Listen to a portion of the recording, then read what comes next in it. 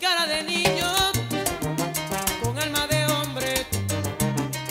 Quiero amarte para siempre, pero tú no me respondes, soy cara de niño. Qué gusto platicar hoy aquí en La Mujer Actual con nuestra astróloga de cabecera.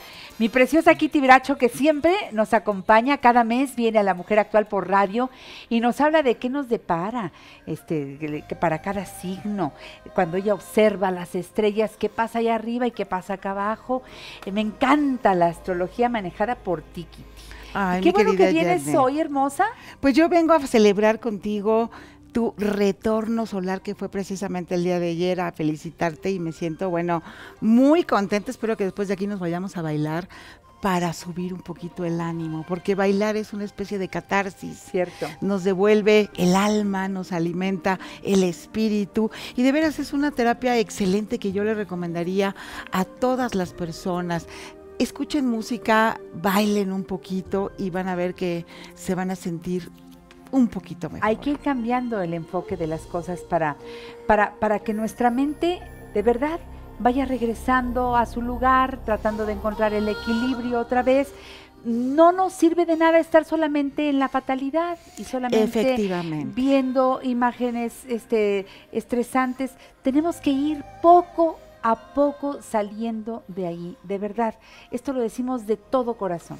Pero de todo corazón, de veras, y yo por eso el día de hoy me decían, bueno, háblanos de cuáles fueron las configuraciones planetarias que detonaron este evento, pero yo he preferido el día de hoy mejor traerles un rayito de esperanza. Venga. Un rayito de esperanza para hablarles de cuáles son esas áreas de oportunidad que todos y cada uno de nosotros vamos a tener debido a la presencia de Júpiter, que a partir de octubre, después de un largo año de permanecer en el signo de Libra, por Sí, cierto, sí, ahora va a entrar al signo de Escorpión. Y esto nos señala un área de oportunidad para cada uno de nosotros. Mira. Para Aries, fíjese que para Aries va a ser muy bueno para las cuestiones de asociaciones comerciales, de préstamos bancarios, ahora que a lo mejor lo necesitan, se les van a facilitar los trámites. eh, pueden conseguir dinero, les pueden llegar recursos y todo lo que tenga que ver con bienes compartidos les va a ir de maravilla. Para Tauro, bueno Tauro, vete preparando, vete a poner guapísimo, porque es muy probable que este año o llegues al altar y te cases, porque además Júpiter dura desde octubre hasta noviembre del 2018 Ah, tienes Entonces tiempo hasta para elegir. para elegir, ¿verdad? O formalizar una relación Muy bien. estable y una relación linda. Para mis queridos Géminis va a ser un año donde van a arrastrar muchísimo el lápiz, pero se les van a abrir muchísimas posibilidades de crecimiento dentro del área profesional. Muy bien. Para cáncer, bueno, cáncer se va a divertir como loco. No me Y se lo merece porque son tan preocupones por la familia, tan sentimentales, tan emocionales. Y les va a llegar diversión, amigos, eh, viajes, Gócenle. recreación. Gócenla, gócenla, no se queden en casa. No se aferren al pasado, que es una de sus principales características, eh, no se estén recordando lo que perdieron ayer, levántense y luchen por lo que quieren conseguir el día de mañana.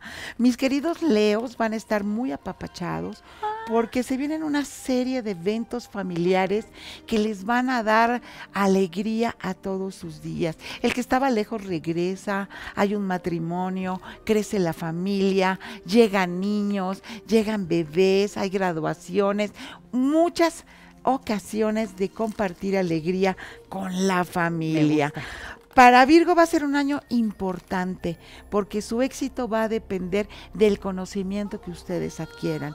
Entonces es un año especial para capacitarse, para reforzar los conocimientos que ustedes tienen, de manera que se les puedan abrir oportunidades y no solamente en el terreno profesional, sino también en el terreno del desarrollo humano. Bravo. Compren una maleta, viajes cortos a Cuerna, Valle, a cerquita, que les le van a caer donde eh, muy padre. Muy bien.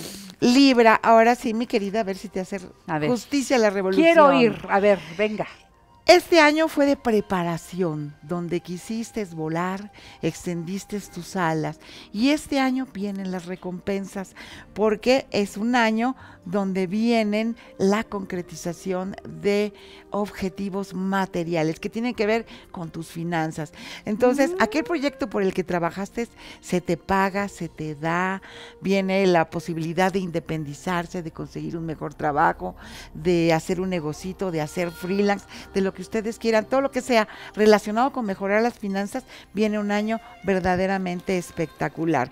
Escorpión, bueno, ¿qué te puedo decir? Escorpión Júpiter llegó con una canasta llena de regalos para bueno, favorecerlos en todas las áreas, en el área que tú quieras. Mira, profesional, profesional, personal, viajes, conocimientos, pareja, Mira, relaciones, bien. lo que quieras. Y bueno, para los del signo de Sagitario, es un año muy espiritual.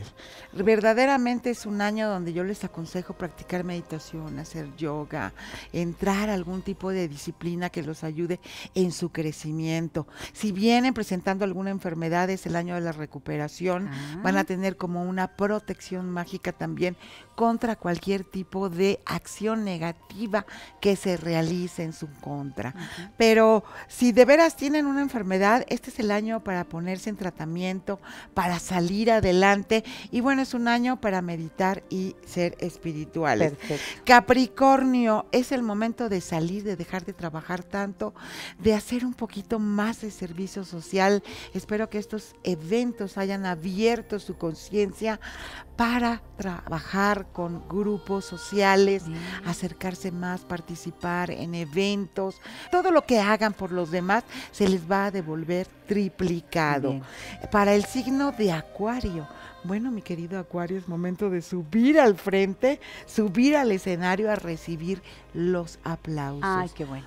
Todo aquello por lo que ustedes estuvieron trabajando este año se va a ver coronado, recompensado, aplaudido.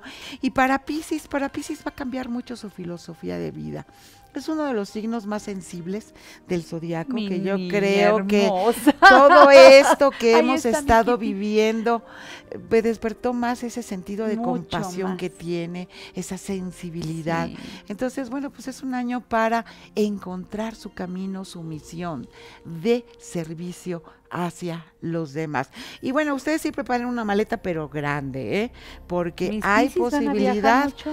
no tanto que sea mucho, sino que es la posibilidad de concretar ese viaje con el que siempre han soñado. A la India, a la China, a Mm. Timbuktu, a donde ustedes quieran. Así es de que desde ya ahorita pónganse a ahorrar, porque hay que tener lleno el cochinito, ¿no? Si no, no se puede. Oye, me gustó esto de las áreas de oportunidad, porque cuando, cuando uno pasa por situaciones tan estresantes, eh, todo lo empiezas a ver oscurito, mi Kitty.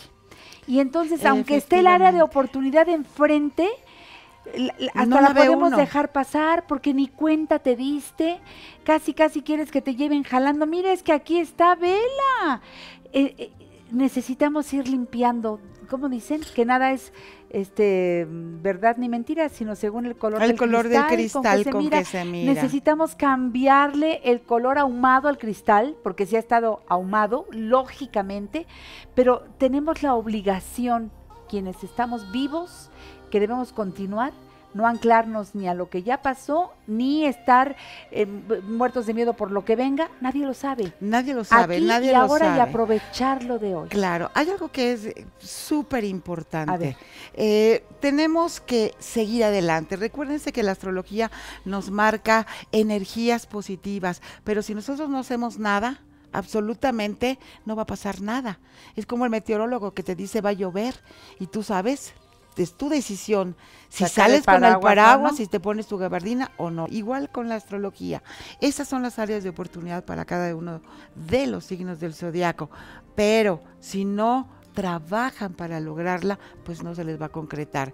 Y luego tarda 12 años en, En volver a regresar. regresar a la misma posición. Entonces, eh, sí ayudemos, sigamos ayudando, porque estamos empezando la tarea más difícil de reconstrucción. Sí, amiga. No nos olvidemos. Pero yo insisto, no podemos ayudar si estamos, vacíos. bien.